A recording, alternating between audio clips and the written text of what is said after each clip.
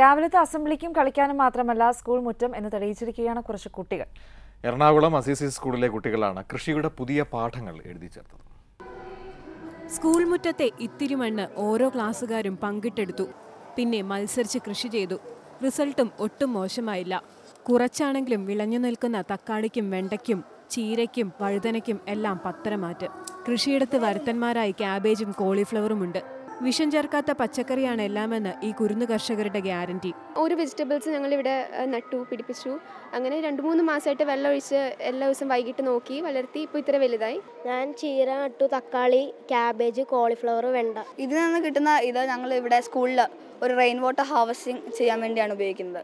എറണാകുളം അസീസി സ്കൂളിലെ social span ക്ലബിന്റെ നേതൃത്വത്തിൽ ആറാം ക്ലാസ് മുതൽ പത്താം ക്ലാസ് വരെയുള്ള കുട്ടികളാണ് മണ്ണിലിറങ്ങിയത്. വിളവെടുത്ത പച്ചക്കറി സ്കൂളിൽ തന്നെ വിൽപ്പനയും നടത്തി. തീർന്നില്ല സ്കൂൾ വളപ്പിൽ നിന്ന് വിളയിച്ചെടുത്ത കപ്പ കൊണ്ട് ബിരിയാണിയും വാഴക്കൊമ്പ് കൊണ്ട് കട്ട്ലറ്റും ചക്ക കൊണ്ട് ഹൽവയും കുലുക്കി സർബത്തും ഒക്കെ ഉണ്ടാക്കി ഈ കൊച്ചുമിടുക്കർ വിറ്റഴിച്ചു. ഏഷ്യനെറ്റ് ന്യൂസ് കൊച്ചി.